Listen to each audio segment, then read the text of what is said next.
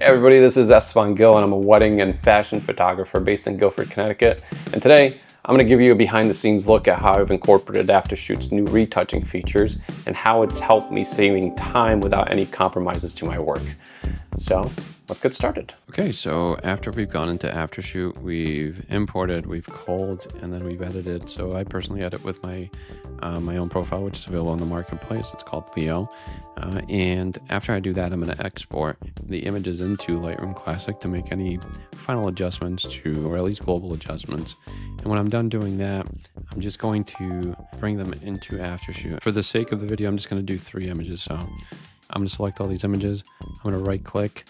I'm going to edit in and I'm going to edit into Aftershoot. So once I do that, it's going to create a copy and it's going to bring it into Aftershoot. So once it goes into Aftershoot, it's going to import JPEG. So just keep in mind that right now we're only working with JPEGs. Uh, so now that I have all three images here that I want to retouch, I'm just going to select one just to do some checking on the skin. So this definitely needs some retouching. So two years ago, I would have been, I mean, I would have spent probably 15, 20 minutes retouching, doing patch tool, which you do have. You do have a patch tool here, but now there's so many different things that you can do with an Aftershoot that's going to just save you so much time. So just to give a quick uh, outlook of what this looks like, uh, you have your quick filters that you can sort through.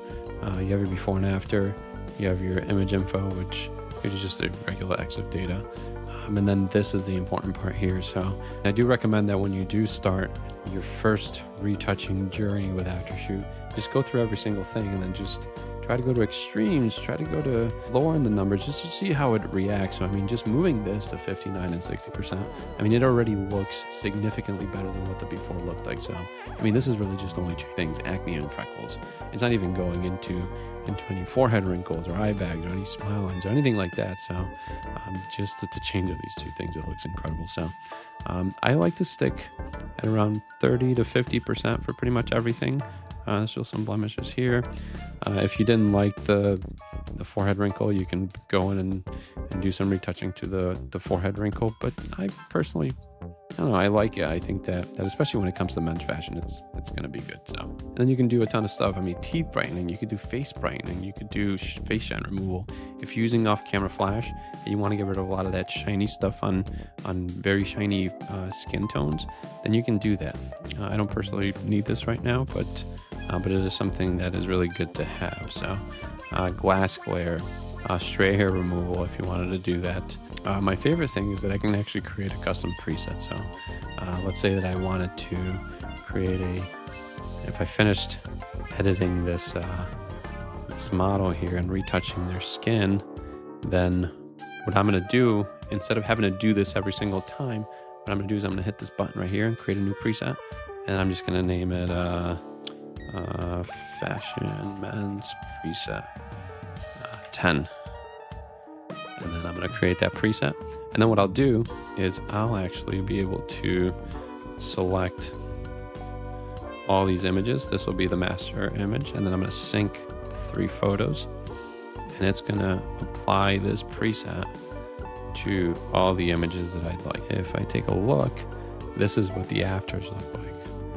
And now this is a before so, again, one of the most important things about aftershoot is it's the subtle changes. You don't need to make them look like porcelain dolls. Uh, I think one of the biggest mistakes that we do once we have retouching tools is that everyone's going to start looking fake. But in reality, you really don't have to do a ton in order to make them look look good and realistic. So, I go to 300%. You can go here,